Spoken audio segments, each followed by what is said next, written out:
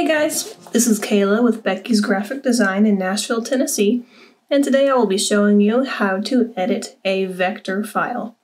Now, first things first, let's understand what a vector is. This is a very commonly asked question that we receive here at Becky's Graphic Design. And first I will explain to you what a vector is and what a raster is. Now both a raster and a vector are different types of file formats. One of the most common file formats that you have heard of is probably a JPEG. JPEGs are most associated with photographs, um, various images that you find on the internet, um, and it is a highly compressible and easily shared image. It doesn't take up a lot of room. The reason that this is, is because a JPEG is made up of pixels. It's kind of like a paint by number, but with little tiny squares that your computer makes.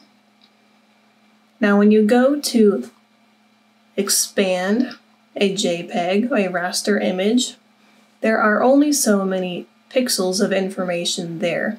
So when you scale it up, the computer has to guess when it fills in those holes which is typically why you see those images become pixelated or blurry around the edges.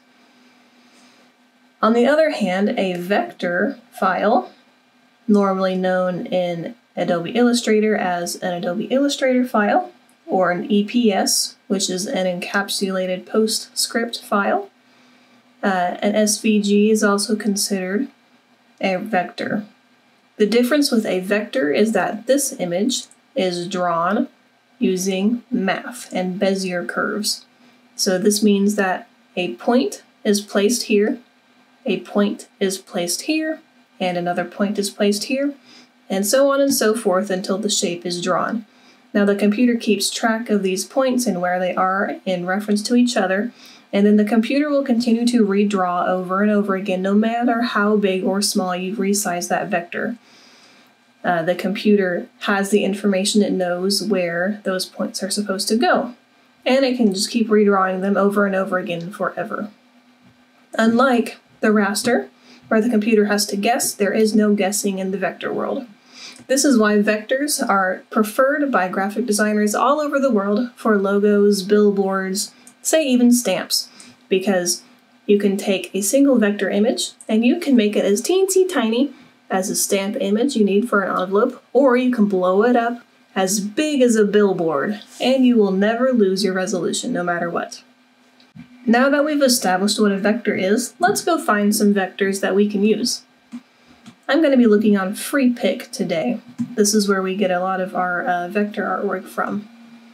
I'm going to tell Freepik to look only in the vector section, and let's just scroll through and see what we got here. I've gone ahead and pre-downloaded some vectors. Let's go ahead and open those up. When I download a vector, generally it will be saved into a zip folder. So let's go ahead and open up one of these zip folders. I'm going to double click on it and then I'm going to double click on this EPS folder, or file. This is an encapsulated PostScript file. I'm going to double click on that, and it will become opened in Adobe Illustrator. Many times older Illustrator files will give you this warning here about 9 slice scaling of symbols. Just hit yes and bypass it. Here we have this beautiful zebra stripe image with some triangle polygon shapes on top. So let's say if I'm editing this vector image and I want to change the color of the stripes. I can't seem to click on them. What's the problem here? First things first, go and check your layers panel. Over in the sidebar, let me get my head out of the way. This is the layers panel. Scrolling up, it will show you the layers of each of the vector items in this scene. If we look down here, this is the stripes.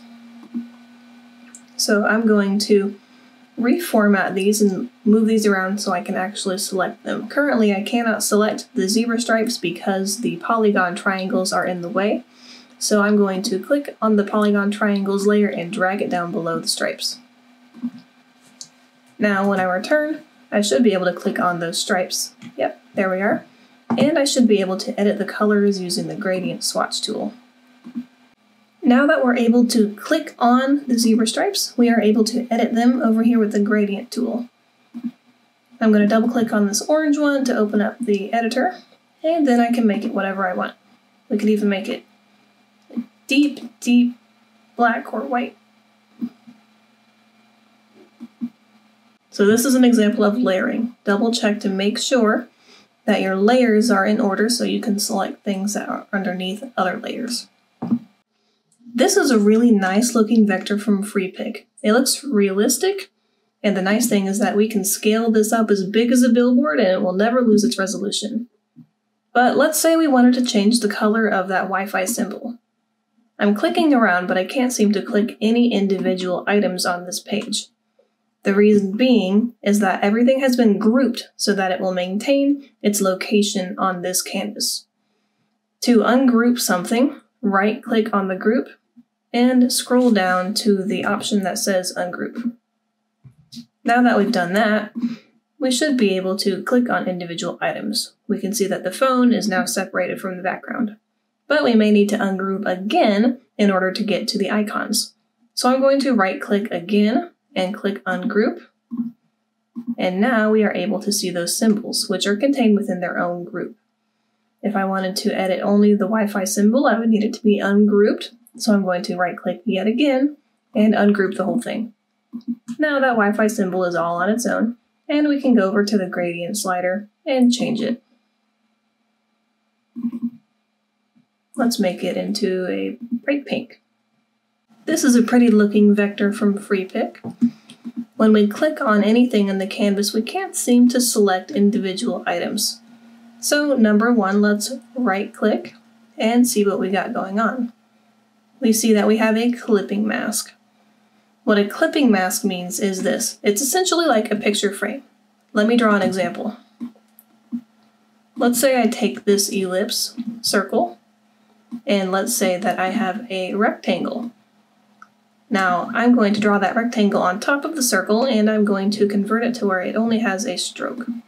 Let's give it a black stroke so we can see it separately.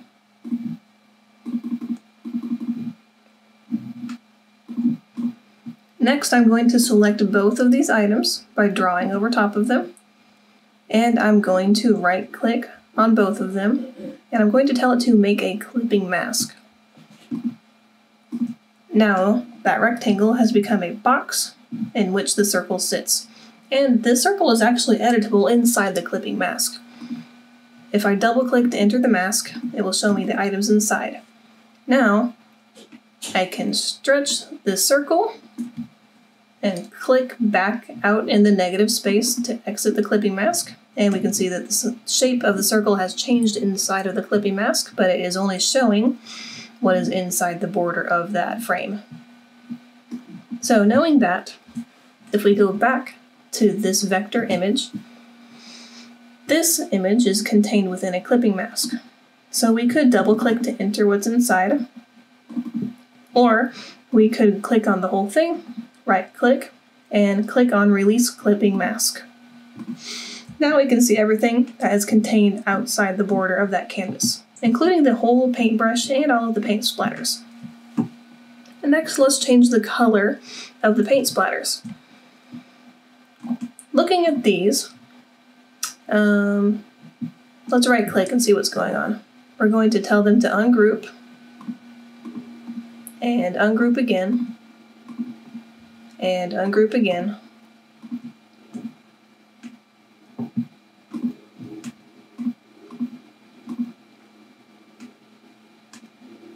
I don't seem to be getting down to the bottom of things, so let's go and check the layers.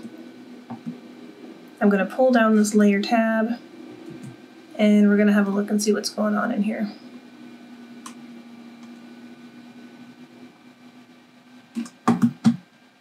At the very bottom, let me zoom out so you can see,